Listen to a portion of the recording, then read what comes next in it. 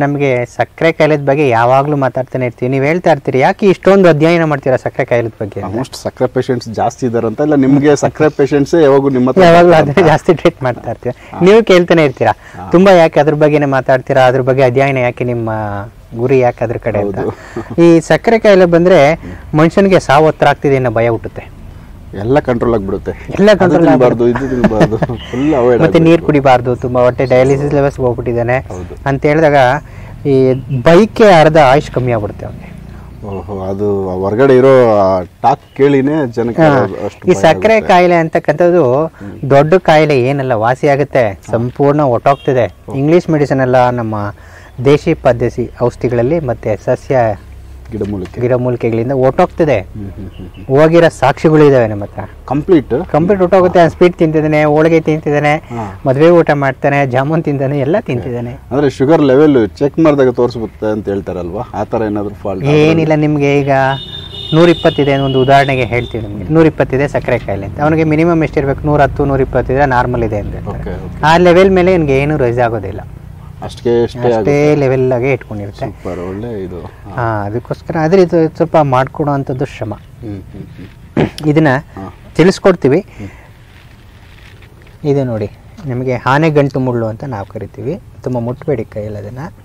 Okay okay. ಇದು ಮುಳ್ಳು ಇದೆ ಮುಳ್ಳು. ಅದನ್ನ ಹೆಸರೇ ಆನೆ ಗಂಟು ಮುಳ್ಳು ಅಂತ ನಾವು ಆನೆಗಂಟು ಮುಳ್ಳು ಓಕೆ. ಇದು ಗಿಡಮೂಲಿಕೆನಾ? ಇದು ಎಲ್ಲಿ ಸಿಗ್ಬೋದು ಇವೆಲ್ಲ ಇದು ತಪ್ಪಲೆಗಳಲ್ಲಿ ಸಿಗುತ್ತೆ. ಹಾಂ ಹಾಂ. ಕಾಡುಗಳಲ್ಲಿ ಮತ್ತೆ ಬೆಟ್ಟದ ತಪ್ಪಲಗಳು ಅಂತ ಏನು ಹೇಳ್ತಿರೋ ಅಲ್ಲಿ ಸಿಗಂತ ಮೂಲಿಕೆ ತೋರಿಸ್ತೀನಿ ಖಂಡಿತ. ಇದ್ರದ್ದು ವಿಶೇಷ ಆನೆಗಂಟು ಮುಳ್ಳು ವಿಶೇಷ ಏನಪ್ಪ ಅಂತ ಹೇಳಿದ್ರೆ ಆನೆ ಯಾವ ಸಸ್ಯಕ್ಕೂ ಭಯಪಡಲ್ಲ. ಆನೆ ಮುರಿದು ತಿನ್ನೋದಷ್ಟೇ ಅದು ನೋಡಿ ಯಾವುದೇ ಸಸ್ಯ ಮುಳ್ಳಾದ್ರೂ ಕೂಡ ಅದು ಬಾಯಲ ಹಾಕಿ ಜಿಗಿತಾನೆ ಇರುತ್ತೆ.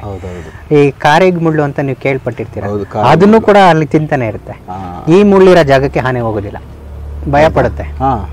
ಇದು ಬಳ್ಳಿ ತರ ನೆಲದಲ್ಲಿ ಹಬ್ಬಿರುತ್ತೆ ನೆಲದಲ್ಲಿ ಹಬ್ಬಿರುತ್ತೆ ಕಾಲಿಗೆ ಚುಚ್ಚಿಕೊಳ್ಳುತ್ತೆ. ಮೋಸ್ಟ್ಲಿ ಇದನ್ನ ಈ ಆನೆ ಗಂಟು ಮುಳ್ಳು ಅಂತ ಅದಕ್ಕೆ ಇದಕ್ಕೆ ಆನೆ ಮುಳ್ಳು ಅಂತ ಮೋಸ್ಟ್ಲಿ ಆನೆ ಗಂಟು ಮುಳ್ಳು ಆನೆ ಮುಳ್ಳು ಅಲ್ಲ ಇಲ್ಲಾಂದ್ರೆ ಆನೆ ಗಂಟು ಮುಳ್ಳು. ಆನೆ ಮುಳ್ಳು ಬೇರೆ ಆನೆ ಗಂಟು ಮುಳ್ಳು ಬೇರೆ. ಅದು ಬೇರೆ ಬೇರೆ ಇದೆ. ಅದು ಬೇರೆ ಬೇರೆ ತರ ಇದೆ. ಇದನ್ನ ನೋಡಿದ ತಕ್ಷಣ ಆನೆನೇ ಹಿಂದೆ ಕೊಟ್ಟೋಗುತ್ತೆ. ಇದ್ರ ಸವಾಸನೆ ಬೇಡ ಅದಕ್ಕೂ ಭಯ ಇದೆ. ಭಯ ಇದೆ. ಅದಕ್ಕೋಸ್ಕರ ಇದಕ್ಕೆ ಆನೆ ಗಂಟು ಮುಳ್ಳು ಅಂತ ನಮ್ಮ ಹಳ್ಳಿಗಳ ಕಡೆ ಹೆಸರು ಬಂದಿದೆ. ಈ ಆನೆ ಗಂಟು ಮುಳ್ಳು ನಂತರ ಈ ತಂಗಡಿ ಹೂವು ಅಂತ ನಾವು ಹೇಳ್ತೀವಿ. ತಂಗಡಿ ಹೂವು ತಂಗಡಿ ಹೂವು. ಎಲ್ಲ ಕೇಳ್ಪಟ್ಟಿರ್ತಾರೆ. ತಂಗಡಿ ಕೇಳಿರ್ತೀವಿ. ಬಟ್ ಅದ್ರದ್ದು ಡ್ರೈ ಆಗಿರೋ ಹೂವು ಅನ್ಕೋತೀವಿ ನಾವು- ಯೆಲ್ಲೋ ಕಲರ್ ಅರ್ಶಿನ್ ಕಲರ್ದು ಹಾ, ದಳ ಏನಿರುತ್ತೋ. ಖಂಡಿತ. ಅದನ್ನ ನೀವು ಮೋಸ್ಟ್ಲಿ ಒಣಗಿಸಿ ಅದನ್ನ ಡ್ರೈ ಮಾಡಿ. ಅದು ಔಷಧಿ ಮಾಡೋದಕ್ಕೋಸ್ಕರ ನಾವು ರೆಡಿ ಮಾಡಿ ತಂಗಡಿ ಹೂವು. ಓಕೆ ಗುರುಗಳೇ. ತಂಗಡಿ ಹೂವು. ಮತ್ತೆ ಗುಲಾಬಿ. ಗುಲಾಬಿ. ಹಾಂ ಗುಲಾಬಿ ಅಂತ ಹೇಳಿದ್ರೆ ಎಲ್ಲೋ ಮಾರ್ಕೆಟಲ್ಲಿ ಯಾವುದೋ ಸಿಕ್ತು ತೊಗೊಂಬಂದೆ ಅರ್ದ್ಕೊಂಡೆ ಕುಡಿದೆ. ಆ ಗುಲಾಬಿ ಅಲ್ಲ ಮತ್ತೆ? ನಾವು ಗುಲ್ಕನ್ ತಯಾರು ಮಾಡ್ತಾರೆ. ಓಕೆ ದಪ್ಪ ಗುಲಾಬಿ ತರದ್ದ? ಹ್ಮ್. ಆ ಗುಲ್ಕನ್ ಹೂವನೆ ಅಂತಾನೆ ಬರುತ್ತೆ. ಹಾ ಹಾ ಹಾ. ಗುಲಾಬಿ ದಪ್ಪ ಹೂದ್ ಬೇರೆ. ಅದು ನಿಮಗೆ ಇದು ವಾಸನೆ ಬರುತ್ತೆ ಗಮ್ಮನತ್ತೆ. Okay okay. ಆ ಥರ ಗುಲಾಬಿ.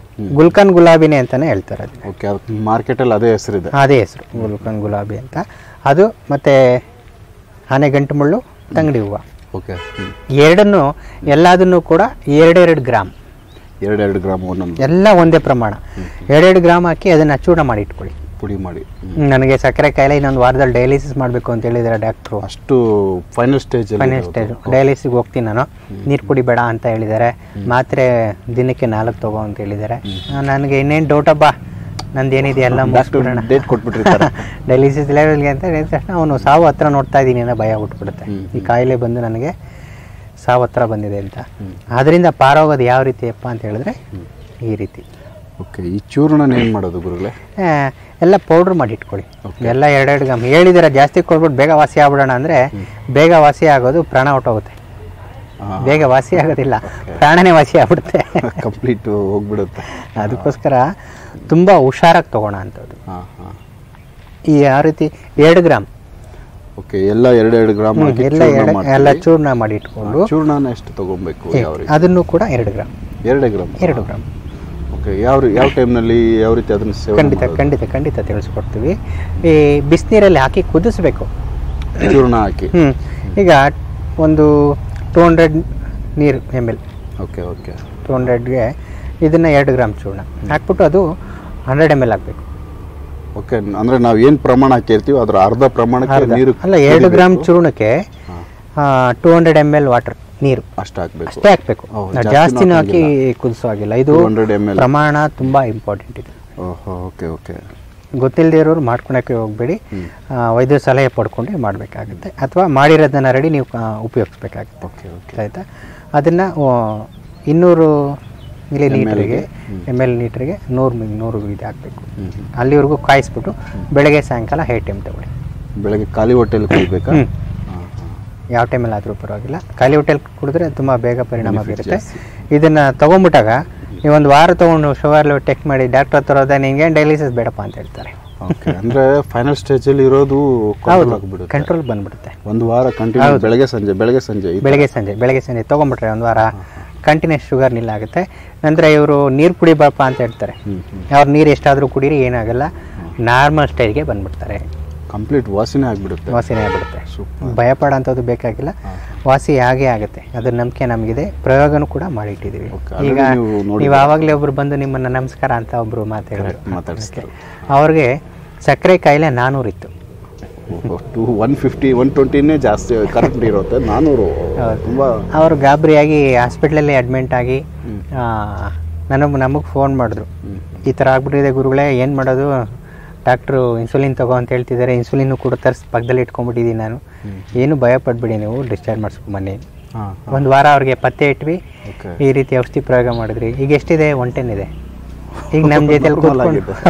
ನಮ್ಮ ಜೊತೆಲಿ ಕೂತ್ಕೊಂಡು ಸಿಹಿ ತಿಂತಾರೆ ಎಲ್ಲ ಪಾರ್ಟಿಲೂ ಅಟೆಂಡ್ ಮಾಡ್ತಿದ್ದಾರೆ ಓಡಾಡ್ಕೊಂಡಿದ್ದಾರೆ.